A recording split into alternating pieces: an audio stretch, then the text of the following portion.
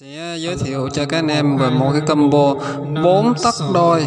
Combo rất là xịn ha. Đang sử dụng loa bass cực xịn ha.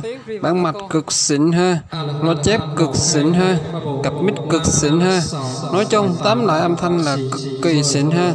Lo bass ở đây là sử dụng con 85 từ 170 ha. Công suất là 350W chở kháng 4 âm ha.